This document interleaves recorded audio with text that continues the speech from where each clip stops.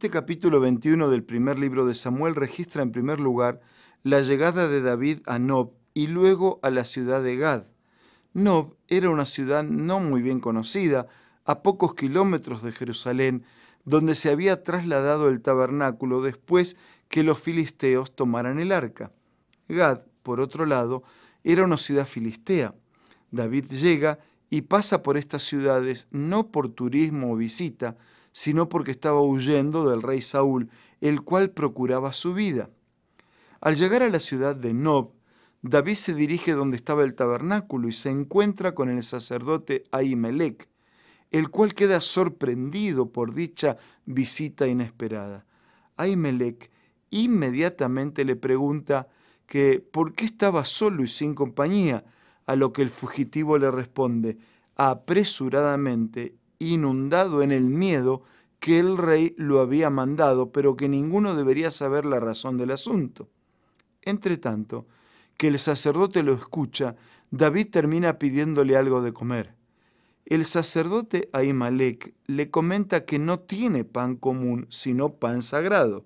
Este tipo de pan era un pan dedicado al tabernáculo como símbolo de Cristo, el cual representaba la presencia viva del mismo. Más tarde, Juan lo registró en su Evangelio como el pan vivo, refiriéndose al mismo Jesús. Dicho pan solo podía ser comido por el sacerdote, mas el sacerdote solo exigió que David no haya tenido intimidad con mujer. Esto era señal de pureza, a lo que David respondió que desde hace dos días se encontraba de viaje. Esto entonces le permitió recibir y comer los panes por parte del sacerdote. De pronto, David se da cuenta que delante de la presencia de Jehová, el tabernáculo, estaba un siervo de Saúl detenido. Inmediatamente David se inquieta y no bastó en pedir solamente pan, sino ahora solicita una espada o una lanza. Solo él sabía la realidad de su llegada a Nob. De inmediato el sacerdote le comenta que detrás del velo estaba la espada de Goliat, gigante filisteo que él mismo había matado.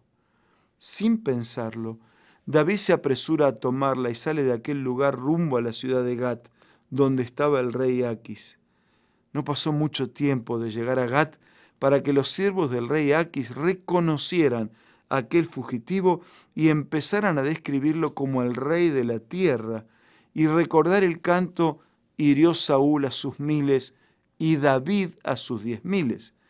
Esto hizo que una vez más el temor se apoderara de la vida del exiliado y siendo dominado por el miedo, empezó a fingir demencia, arañando las puertas, tirando saliva de tal manera que corría por su barba. La pregunta es, ¿qué provocaba o causaba tales comportamientos en la vida de David? David no solo estaba siendo perseguido por Saúl, sino también por su miedo, por su yo, por su inseguridad, por su desconfianza. David huye de Saúl, pero no de él mismo. David es perseguido no solo externamente, sino internamente. Sin embargo, aunque escapa de Saúl, no escapa del engaño y la mentira. Así como huyó de Saúl, huyó también de la verdad. Y fue en esta ocasión lo que hizo a David fracasar, porque más tarde se van a ver las consecuencias de ello al ser estos sacerdotes muertos. No solo mintió al sacerdote al darles razones equivocadas de su llegada a Nob, sino también actúa incorrectamente, fingiendo demencia delante del rey de Aquis.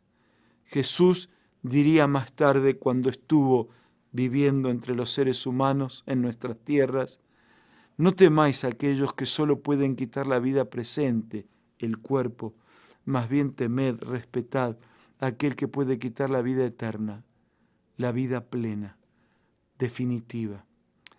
David desconfió en su totalidad de quien podía librarlo no de la prueba, sino de en medio de ella.